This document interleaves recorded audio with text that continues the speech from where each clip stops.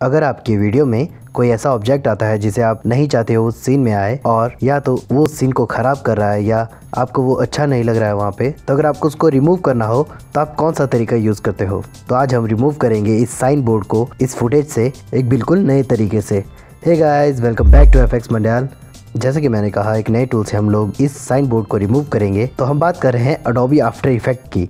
Adobe After Effect का नया version जो है, उन्होंने एक नया प्लगइन उसमें ऐड किया है कंटेंट अवेयर फिल करके। जैसा कि पहले हम क्या करते थे कि हमें इन चीज़ों को रिमूव करने के लिए उन्हें पेंट करते थे। पेंट आर्टिस्ट जो एक्चुअली में पेंट करते हैं, उन्हें ज़्यादा पता होगा कि हमें एक एक फ्रेम को पेंट करना होता है और या तो हमें उसे इस तरीके से पेंट करके या उसे ट्रैक करके हमें उस जगह पे लगाना होता है ताकि ये ऑब्जेक्ट रिमूव हो जाए। तो आज हम इस कंटेंट अवेयर टूल की हेल्प से हम इस साइन बोर्ड को यहाँ से रिमूव करेंगे। तो इसके लिए हमें करना क्या है? ये नया वर्जन जो आफ्टर इफ़ेक्ट का है आपको अपनी फुटेज को मास्क करना है, जो भी ऑब्जेक्ट आप वहाँ से हटाना चाहते हो।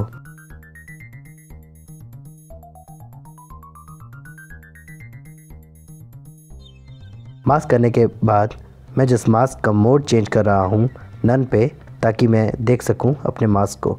तो मैं अभी क्या कर रहा हूँ, मैं उसे ट्रैक कर रहा हूँ अकॉर्डिंग टू मूवमेंट मैं मास्क को सिर्फ़ एनिमेट कर रहा हूँ, जो आप पाथ पे की फ्रेम लगा के कर सकते हैं। मैं आपको फास्ट फॉरवर्ड करके दिखा रहा हूँ, आपको बस उसे एडजस्ट करना है according to the movement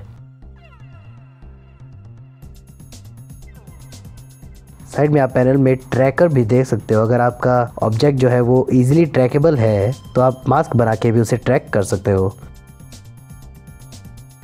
तो जैसे कि मैंने अभी मास्क को एनिमेट कर दिया है तो मैं क्या करता हूँ, मैं उसका मोड चेंज करता हूँ सब्सट्रैक्शन में। जब भी आप ये चीज़ कर रहे हो तो मास्क हमेशा सब्सट्रैक्शन में रहना चाहिए, क्योंकि कंटेंट अवेयर फिल को बैकग्राउंड में कुछ नहीं चाहिए होता है। जो भी आप रिमूव कर रहे हो, उसके बैकग्राउंड में कुछ भी नहीं चाहिए होता है। मैं थोड़ा एक्सपेंड कर देता हूँ अपने मास्क को।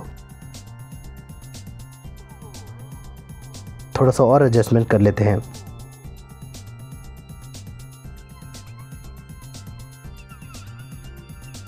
मैं सिर्फ़ ये बैकग्राउंड रख रहा हूँ ताकि आप लोगों को दिखा सकूँ कि मैंने क्या कट किया है।